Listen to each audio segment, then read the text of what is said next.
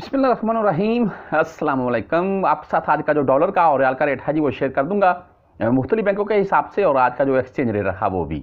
यहाँ पर आपको पहले डॉलर ही दिखा दूँ, जो कि आज भी कल वाला ही रेट है, यानी कि दो सौ तेईस रुपये नाइन्टी फाइव पैसे।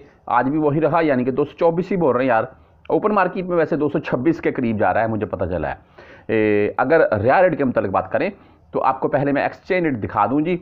जो कि है जी, आज का एक्सचेंज रेट रियाल का उनासठ रुपये एटी नाइन पैसे, कल की नस्बत मज़ीद महँगा हुआ है और, यानी कि साठ के करीब ही पहुँच चुका है, आप यही बोल रहे हैं। और इंडियन रुपए की बात करें तो आपको इक्कीस रुपये उनासी पैसे एंड बांग्लादेशी टके की बात करें तो आपको अट्ठाईस टके छब्बीस पैसे रेट मिल जाएगा। वैसे अमराती दरहम नाइन्टी सेवन है जी यानी कि एक रियाल तीन हलाले हों तो एक अमराती दरहम बनता है।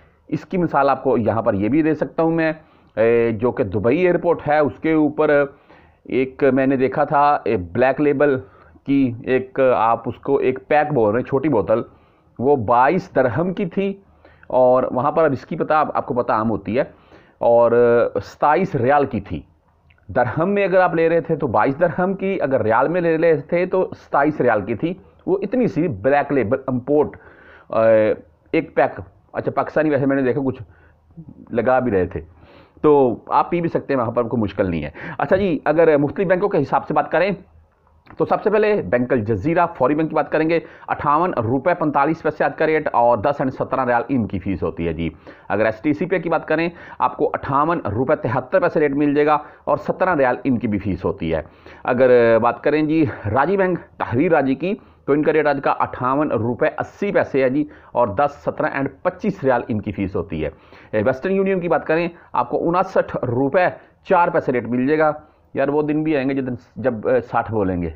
मैं तो ये उनसठ, अठावन, सीधा बंदा साठ बोले, कितना आसानी से बोला जाता है। उनसठ रुपये चार पैसे वेस्टर्न यूनियन का रेट है, तेईस रियाल इनकी फ़ीस है। मनीग्राम की बात करें तो आपको अठावन रुपये नब्बे पैसे रेट मिलेगा और तेईस रियाल इनकी भी फ़ीस होगी। अगर टेली मनी यानी कि ए एन बी बैंक की बात करें तो आपको अठावन रुपये सत्तर पैसे रेट मिलेगा और पंद्रह एंड सत्रह रियाल इनकी भी फ़ीस होगी। क्विक पे की बात करें तो आपको उनासठ रुपये सात पैसे रेट है और दस एंड सत्रह रियाल इनकी भी फ़ीस होती है। अगर इंजाज बैंक की बात करें, आपको अठावन रुपये एटी नाइन पैसे, यानी कि अठावन रुपये नब्बे पैसे बोल रहे हैं, और इनकी भी दस, सत्रह एंड पच्चीस रियाल फ़ीस होती है।